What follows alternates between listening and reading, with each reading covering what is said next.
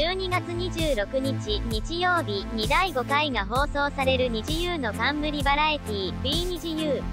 テレビに毎週日曜昼1時45分から2時15分第5回は30分拡大。日本テレビでは二次 U とお出かけ USJ60 分スペシャル。と題し、二次 U がユニバーサル・スタジオ・ジャパン USJ でロケを実施。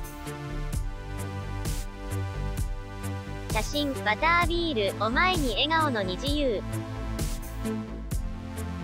当番組は、日曜日の二次 U の宿舎、二次 U ハウスを舞台に、二次 U メンバー9名と、寮母の近藤春菜がロケ VTR を鑑賞しながら、わちゃわちゃ、トークを繰り広げるバラエティー。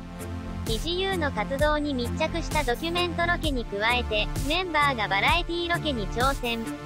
さらに、CLUB 二次 U では、二次 U が本気の歌とダンスを毎週1曲披露する。二次 U、念願の USJ ロケスペシャルメガボルトに大興奮。二次 UUSJ プライド対決では、二次 U が USJ への熱い思いイコール USJ プライドをかけて、アトラクションを楽しみながらミッションに挑戦。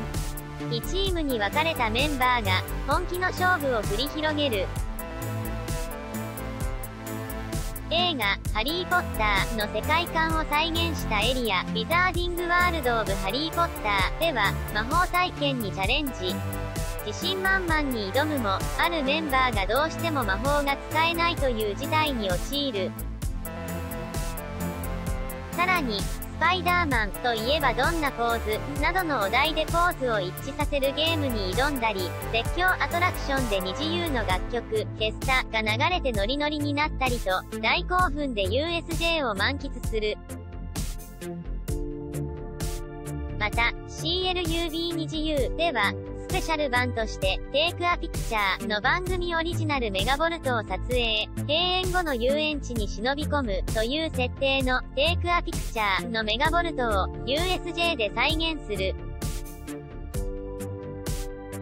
さらに、パークの仲間たちがサプライズで登場。その愛らしいパフォーマンスに、二次 U も思わず笑顔になる。